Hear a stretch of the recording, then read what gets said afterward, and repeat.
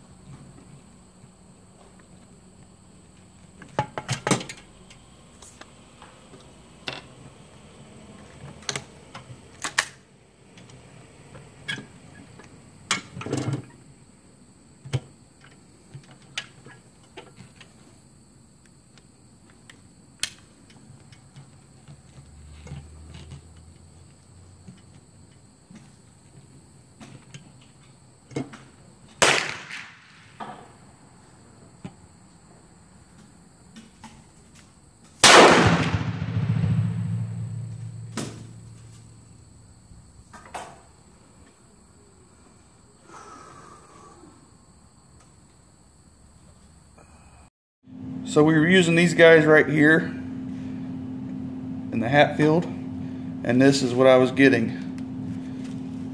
About three inch group overall at 50 yards with the red dot. That is pretty good.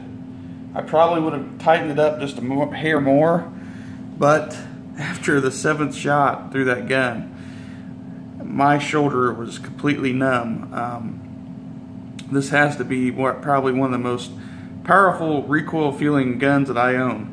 My 30-06 doesn't even kick that bad. I mean, I was I'd have to shoot about 50 rounds through the 30-06 to even feel what this gun did to me within two rounds. And my shoulder, like I said, was completely numb and it kicks like a mule if you couldn't tell from the video. But, you know, that's what I get for modifying it since it's my gun and uh, testing it out. That's all it is. It's just testing and seeing how it turns out. Uh, am I glad I did it? Yeah. Um, it's sighted in for shotgun now, shotgun season if I want to use it for deer or just to take out and let people shoot it just to feel the recoil. But anyways, I got this kind of a requested video just to see how well uh, slugs would shoot out of it because this is a really popular shotgun and uh, you know people want to know.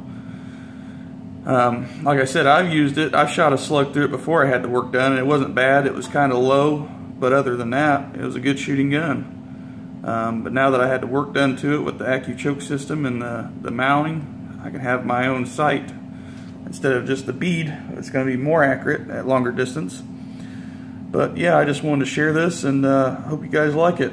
Appreciate you watching. We'll see you on the next video.